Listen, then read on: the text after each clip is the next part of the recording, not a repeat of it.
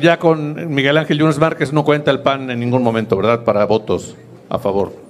No, bueno, es más que claro.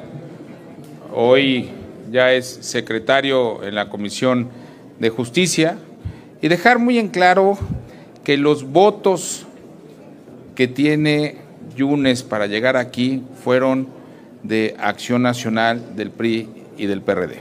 Es claro, como hemos visto en muchos medios de comunicación que decían que a los, pocos, a los pocos días los iban a encarcelar, que tenían órdenes de aprehensión. Y ahora, pues yo los veo muy tranquilos. No contamos con él, Acción Nacional está firme y vamos a seguir levantando la voz para defender a México.